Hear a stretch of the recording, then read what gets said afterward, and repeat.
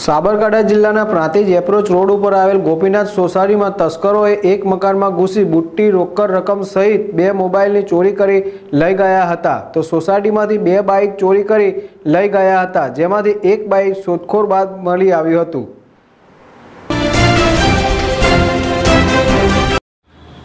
પ્રાંતિજના હાર્દ સમાન approach road ઉપર આવેલ ગોપીનાથ સોસાયટીમાં ગઈ રાત્રિના અજાણ્યા તસ્કરો ત્રાટક્યા.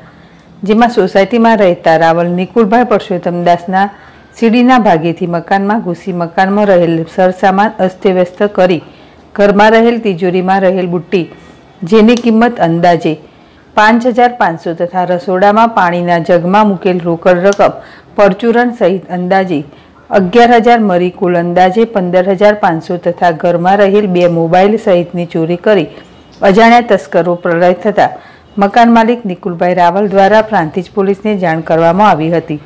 તો ગોપીનાથ સોસાયટીમાં રહેતા સુથાર ભદ્રેશકુમાર ઈશ્વરભાઈની બારીનો કાચ તોડી બારીમાં મૂકેલ પર્સ તથા તેમની બાઇક ચોરી કરી લઈ ગયા હતા.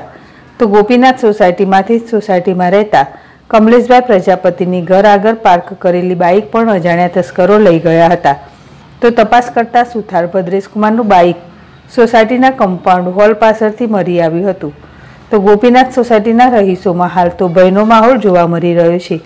અને રાત્રિના સમયે પોલીસ દ્વારા કડક પોલીસ પેટ્રોલિંગ ગોઠવવામાં આવે તેવી સોસાયટીના રહીશોની માંગ ઉઠવા પામી છે.